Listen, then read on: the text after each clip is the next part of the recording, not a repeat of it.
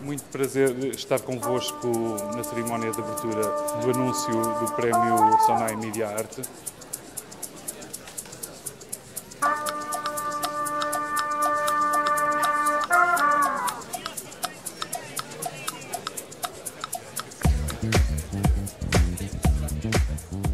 Em pouco mais de um ano, criámos e lançámos o primeiro e o maior prémio em Portugal na área da Media Art, prémio este que se enquadra na missão e nos valores sempre promovidos pela SONAI. O prémio SONAI Media Art afirma-se como o mais relevante e avultado prémio no panorama da arte contemporânea portuguesa. Trata-se de um extraordinário prémio dedicado à criação contemporânea no valor de 40 mil euros. Agradeço ao Grupo SONAI o apoio mecenático à criação contemporânea em Portugal.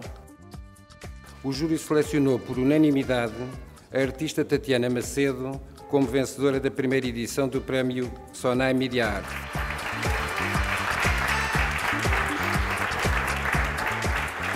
Uh, gostaria muito de agradecer à equipa do museu e da Sonai envolvidos neste projeto uh, e gostaria de agradecer especialmente às pessoas que trabalharam comigo, à minha equipa.